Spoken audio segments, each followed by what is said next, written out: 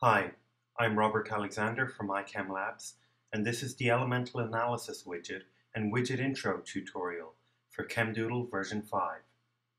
Widgets are mini applications within ChemDoodle. They enhance ChemDoodle's functionality in various ways. Each widget has a widget window, which can be moved around just like anything contained within the workspace. They will interact normally, including locking in place. You can also adjust a widget's size by clicking the Maximize button for full screen use or using the drag anchor to adjust a widget to a specific size. Some widgets appear in a collapsed state and only take up more space when you need to work with them. For instance, the MolGrabber widget only expands once you've typed in a search term and hit enter. Once you've finished working with it, it can be collapsed easily. Only three widgets appear in the workspace at any one time. The statistics and history widgets always remain, while other widgets are switched between by selecting the widget you want from the widget dock. Hover to see the name of the widget, then select the widget you want to work with. You can click and drag the arrows on the left to move the dock along the bottom of the workspace.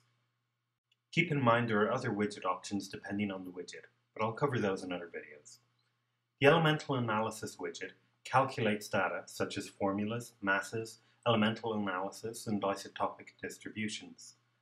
The elemental analysis widget displays information on the currently selected molecule, or, if you are not using a selection tool, the most recently modified molecule in the doodle area.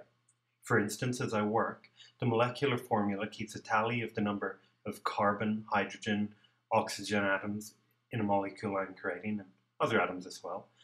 However, if I decide to create a new molecule, the widget will immediately switch to displaying information on this latest molecule. The molecular mass is based on the average weight of one isotope of said molecule. The monoisotopic mass is based on the most common isotope of said molecule only. The elemental analysis section displays the percentage weight of each element. So in the example of CH4, we can see the carbon takes up almost 75% of the total weight of the element. Since ChemDoodle has access to all this information about any molecule you choose to create, it can display an isotopic distribution bar graph, and it includes the percentage ratios for precise work.